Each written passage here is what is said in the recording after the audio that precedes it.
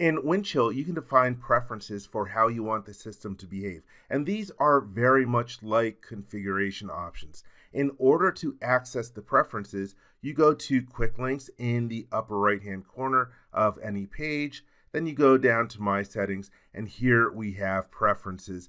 And it will come up with a page with a long list of options inside of here. I'll just expand a few just to show you that there are lots of different ones in here. And if you are new to Windchill, you're not going to be familiar with the different options that are available. That's why they have a great find in tree field that you can use in order to search for various different preferences. I'm going to go through a few here, ones that I like to use. So for example, one thing is whenever I check in, I want to make sure that objects are automatically associated to WT parts. So I'm going to search on the keyword associate.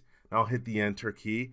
I can see right now here I'm under security. We can use the drop down list in order to find other different ones in here. And we can see again, all these ones have the word associate. Let me try changing the term in here.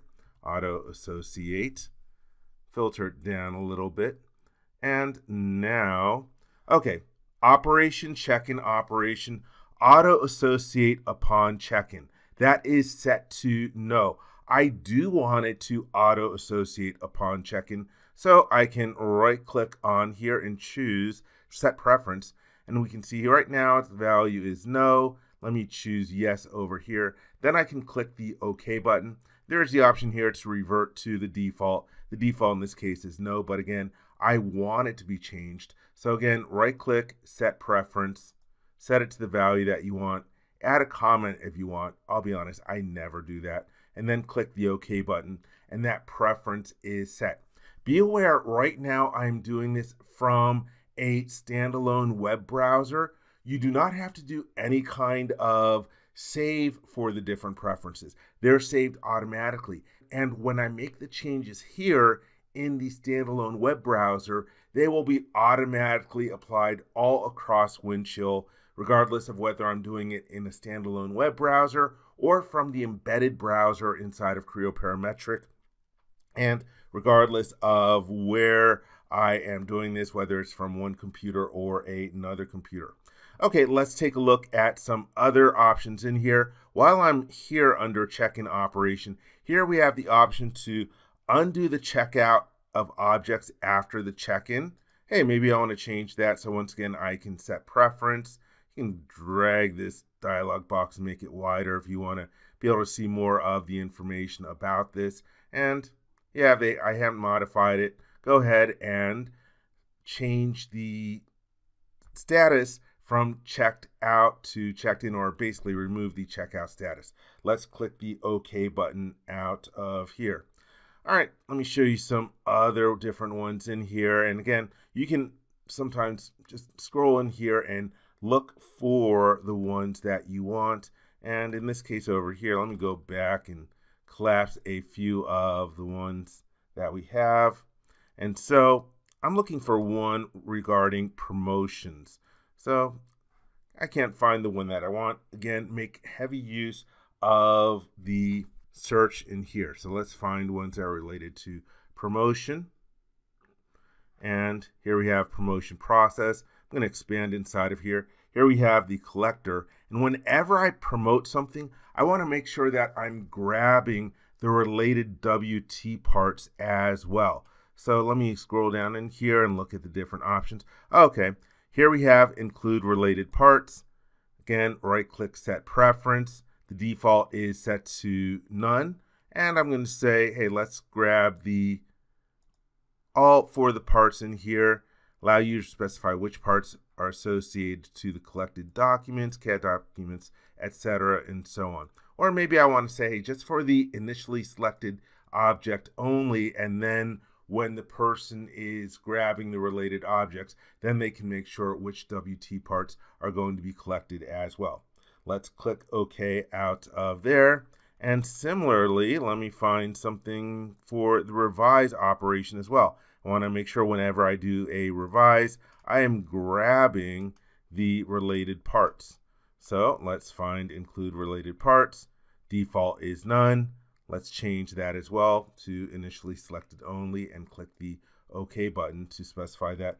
That should be grabbed as well. Let's see another one that is popular. Whenever you add objects to a workspace, some people want them locked by default. So let's look for the keyword lock. And here we have it came up under the search group. That's not what I want. So again, we can go down here until we find the ones that we want.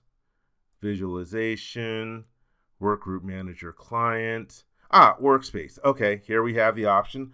Automatically lock all objects added to the workspace. Again, we can set the preference, change that to yes, so that way something won't be accidentally modified. Someone's going to have to check an object out in order to make changes to it, and they're going to be uh, notified of that. Also, we have this option here for smart lock objects in workspace, another related object, or excuse me, option. And again, can expand this over here. Right now, the value is set to none. You can change that value over here to read only if you want to. So another good option to be aware of. Let's take a look at one last option in here. Actually, it's right over here. I don't need to search for it.